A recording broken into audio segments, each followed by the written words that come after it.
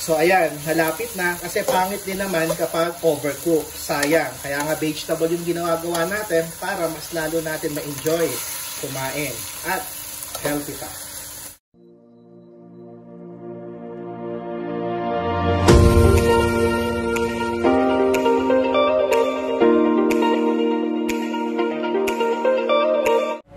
Hello, good afternoon.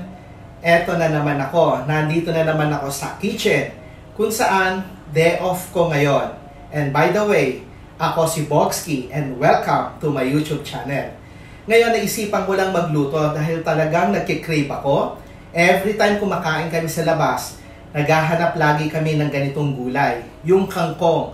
So ang gagawin ko lang, i-stir fry ko lang sa pamamagitan ng kangkong na aking nabili mula sa Fair Price. Kaya mamaya, samahan ninyo ako at lalagyan ko lang siya ng alternative para lang magkalasa yung nabili kong uh, bagoong, yung steam bagoong. So, konti lang para lang magkaroon lang siya ng alternative kasi dito, meron kaming nabibili ng kangkong sambal. So, sa kanila iba. So, ngayon, sana maging successful yung lulutuin ko. Kaya tara, umpisahan na natin at samahan ninyo ako at sana magustuhan ninyo ang aking recipe for today. See you! So, ganito lang yung gagawin natin. So, para ka lang naghihimay, para pinuputol mo lang siya sa pamamagitan ng iyong mga kamay.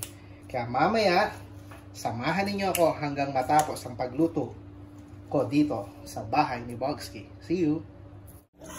So, after natin putol-putulin, Siyempre, dapat hinuhugasan natin. Para mamaya, mas masarap ang kain namin mga housemate ko. So, ganyan lang kasimple. At first time itong gagawin ni Boxy sa bahay ni Kuya. Okay, pwede na. Pwede na tayo maglagay ng konti lang ha. Kasi gulay naman yung lulutuin natin para mas lalo natin malasahan. So, mainit na. Lagyan na natin yung sibuyas. Sana maging successful dahil first time ko talaga gumawa nito. So after mag golden brown, ilalagay ko na yung shrimp bagoong natin na siya yung magpapalasa sa kangkong. So ngayon pwede na tayo maglagay ng shrimp bagoong. Binili ko pa pala ito sa baba. So matagal ko na kasi ito gustong gustong kainin. Hindi ko na alam kung paano ko siya ititimpla. So testing lang ipapalaman ni Boxky sa kangkong. Guys, kung naaamoy nyo lang, grabe ang bango. Mapapatakam na kayo sa recipe ni Boxky. Ito na yung kangkong.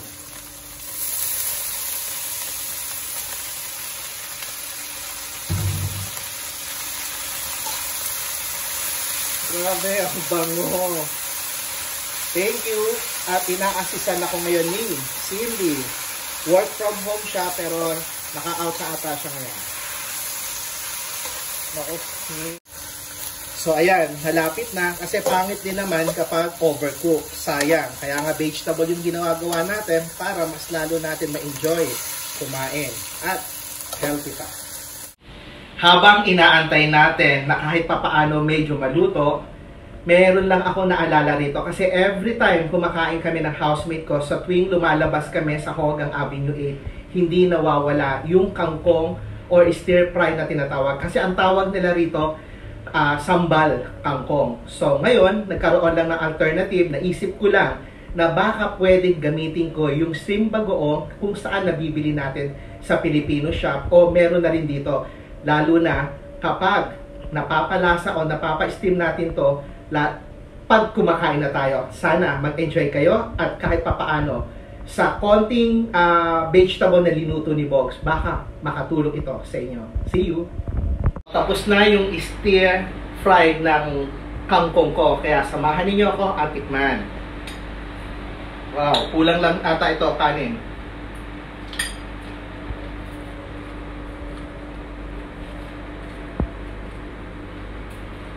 Grabe!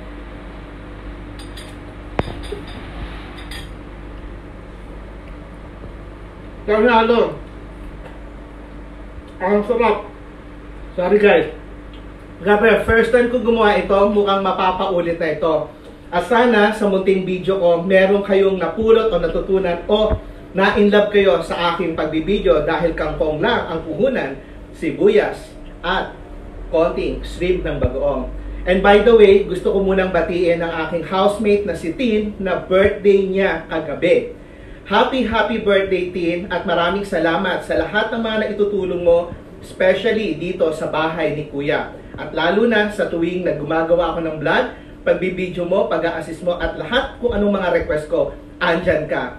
And don't forget to like and subscribe my YouTube channel. Hanggang sa muli, maraming salamat and keep safe everyone. Thank you!